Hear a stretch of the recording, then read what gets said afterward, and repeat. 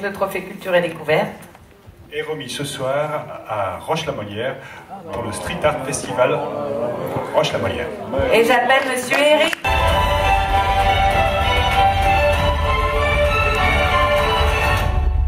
De la rue, c'est quoi l'art de la rue? Alors déjà, à l'origine d'avoir un projet comme ça, c'était de... Vous savez que Roche-la-Molière est bien connu, euh, Pierre l'a rappelé tout à l'heure, pour un site magnifique, extraordinaire qu'on a sur notre commune. Son château, évidemment. Euh, d'abord son euh, château. D'abord son château, évidemment, et puis d'autres petits sites industriels qui gèrent et traitent certains produits. Néanmoins, il fallait se trouver une solution pour sortir un petit peu du lot et euh, donner une attractivité différente à la commune.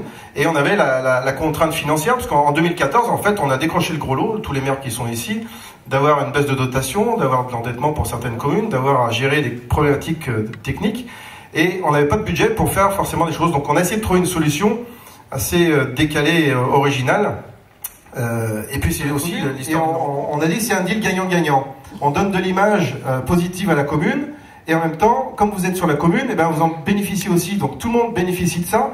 Et certaines entreprises, d'ailleurs, ont, eu des œuvres sur leur mur, euh, ce qui a permis de, valoriser ces entreprises. Et euh, certaines l'ont utilisé pour leur communication d'entreprise. D'accord.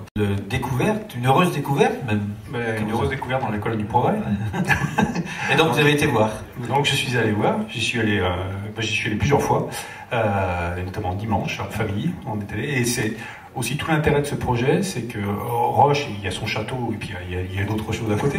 Là, il y, il avait son château euh, et aujourd'hui, il y a, ce street art qui fait que ça devient un, lieu où on a envie d'aller euh, pour, pour, découvrir ces œuvres d'art en plein air.